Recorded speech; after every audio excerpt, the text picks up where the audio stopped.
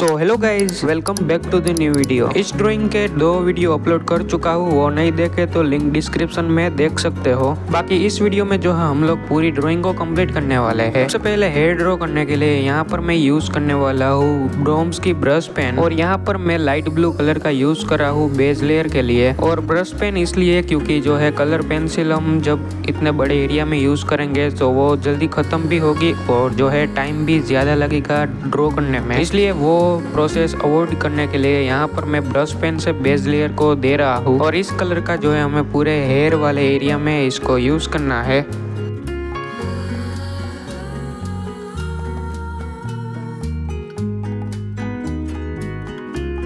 Brush pen से hair में colour हो जाने के बाद अभी यहाँ पर मैं ब्लैक कलर पेंसिल का यूज़ कर रहा हूँ। और हमें रेफरेंस फ़ोटो को अच्छे से ऑब्ज़र्व करके हेयर की डायरेक्शन पर स्ट्रोक्स देने हैं। और जहाँ पर हमें ज़्यादा डार्क एरियाज़ दिख रहे हैं, वहाँ पर हमें ऐसा ही पेंसिल को घिस देना है जैसे कि आप वीडियो में देख सकते हो। और कलर पेंसिल यूज़ करते टाइम इसको शार्प ज़रूर से कर लेना क्योंकि डिटेलिंग जो है अच्छे से होगी। और जो है एक एक हेयर हमारा अच्छे से दिखेगा ड्रॉइंग में। और ब्लैक कलर पेंसिल का यूज़ हो जाने के बाद आप जो है और डार्कनेस अचीव करने के लिए यहाँ पर डार्क ब्लू कलर का भी यूज़ कर सकते हो। ब्लैक कलर के ऊपर से। बाकी हमें सिंपली जो है रेफरेंस फ़ोटो को अच्छे से ऑब्ज़र्व करना है और हेयर के फ्लो को हमें ऑब्ज़र्व करना है और हमें ड्रॉ करते जाना है। बाकी आप लोगों को जो है मेरी ड्रॉइंग वीडियोस अच्छी लगती हो तो प्लीज़ इस वीडियो को भूले बिना लाइक कर देना और आपका प्यारा सा कॉमेंट कर देना और इस चैनल को जो है सब्सक्राइब कर देना। यहाँ पर मैं जो है मुकुट वाले एरिया में कलर कर रहा हूँ और यहाँ पर भी टाइम बचाने के लिए यहाँ पर मैं ऑयल पेस्टल कलर का यूज़ कर रहा हूँ। सबसे पहले मैंने यहाँ पर मीडियम मीडियम येलो कलर का यूज़ किया है और उसके ऊपर से ब्राउन कलर और थोड़ा सा डार्क करने के लिए यहाँ पर मैंने ऊपर से डार्क ब्राउन कलर का भी यूज़ किया है। कलर को जो है हमें अच्छे से फिल करना है और ब्लेंडिंग के लिए आप लोग कॉटन बड का यूज़ कर सकते हो। इन सब कलर का यूज़ करने के बाद आप जो है रेफरेंस को अच्छे से ऑब्ज़र्व करके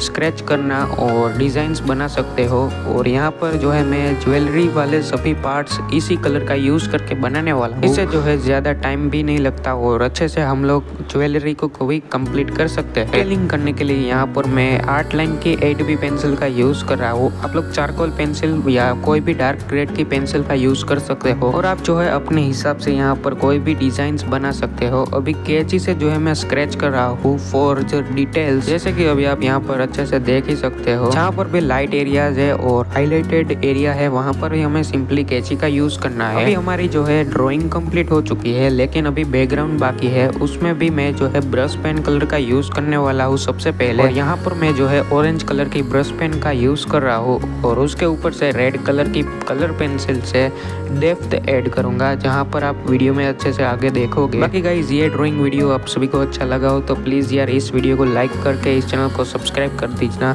और आप लोगों का सपोर्ट जो है बनाए रखना। बाकी मिलते हैं किसी नई ड्राइंग वीडियो के साथ। तब तक लिए बाय बाय